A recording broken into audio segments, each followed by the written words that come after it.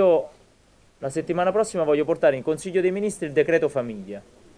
Questo decreto per aiutare le famiglie che fanno figli è un decreto che ha già le coperture, un miliardo di euro, che abbiamo risparmiato e recuperato dal reddito di cittadinanza perché abbiamo respinto il 25% di richieste che non erano idonee perché non avevano i requisiti. Quindi tre quarti di richieste sono state accettate e un quarto non è stato accettato.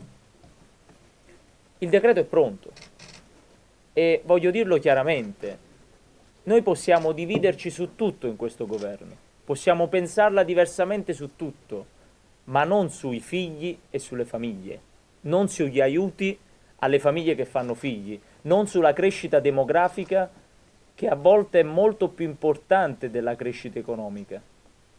E allora sulla famiglia e sul decreto che stiamo facendo si gioca il destino del governo la tenuta del governo dipende per noi da un tema così importante, perché se anche su questo si vuole rompere, e allora si stanno cercando pretesti, per come la vedo io.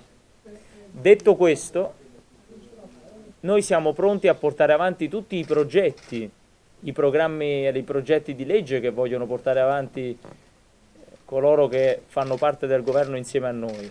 Però vorremmo vedere qualcosa di scritto, per esempio sulla flat tax, io non ho ancora nulla di scritto dopo 11 mesi.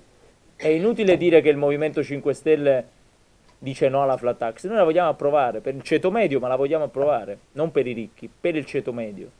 Ma non c'è ancora nulla di scritto, non c'è una copertura. Come si può accusare di questo il movimento se non esiste l'oggetto della discussione, su cui io sono totalmente d'accordo? E io questo lo dico perché sono stati quasi 12 mesi perché il primo giugno noi eh, festeggiamo un anno dal giuramento di questo governo. Sono stati 12 mesi di lavoro intenso, abbiamo fatto grandi cose insieme e ne possiamo fare tante altre insieme. Ma se ogni occasione deve essere un pretesto per creare tensione, e allora io sono preoccupato. Per me il governo deve andare avanti. Ma che senso ha un governo del cambiamento che non fa velocemente un decreto per destinare un miliardo di euro di risorse che ti avanzano alle famiglie italiane che fanno figli e oggi sono le meno sostenute d'Europa. Quando un figlio nasce in Italia ha meno aiuti economici di tutti gli altri bambini che nascono negli altri paesi europei.